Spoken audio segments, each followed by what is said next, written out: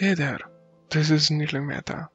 I am software engineer as well as instructor in the Tutorials Team. Throughout this series, I am going to teach you how to use the ML.NET for machine learning solution. The first question arises that what is machine learning and ML.NET?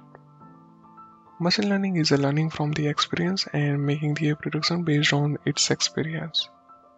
In machine learning, we need to create a pipeline and pass the training data. Based on that, machine will learn how to react on the data. ML.NET gives the ability to add the machine learning in the .NET applications. We are going to use the C throughout this series, but F# is also supported by the ML.NET. ML.NET officially publicly announced in the Build 2019.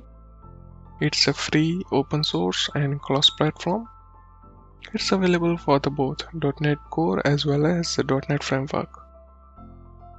The course outline include introduction to the machine learning and understood how it's different from the deep learning and the artificial intelligence. Learn what is ML.NET and understood the structure of the SDK.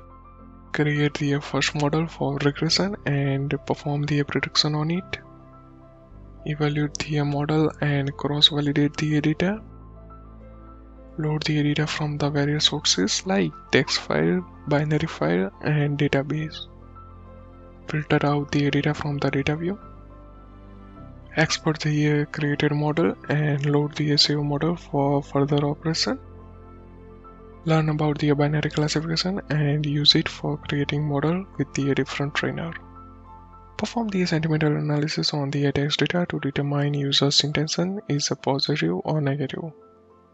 Use the multi-class classification for prediction. Use the TensorFlow model for the computer vision and determine which object is represented by the image. Then we will see the example of using the other trainers like the anomaly detection, ranking, forecasting, clustering, recommendation, Perform the transformation on the data related to the text, conversation, category, and time series. Then see how we can perform the AutoML using the Model Builder UI and CLI. Learn what is ONNX and how we can create and use the ONNX model. Then we will see how we can use the model for performing prediction in the ASP.NET Core. Prerequisite for this course is just basic knowledge of the Sharp as well as machine having the Visual Studio. I am going to use the year 2019. If you have a basic knowledge of the machine learning then it would be a great. However, it's not compulsory. In the end of course, you will be confidently able to create the ML.NET model using the code as well as the model builder for your application. It can include the various kind of data source, data preprocessing, transformation, trainer, and hyperparameter. Join me for this course. Thank you.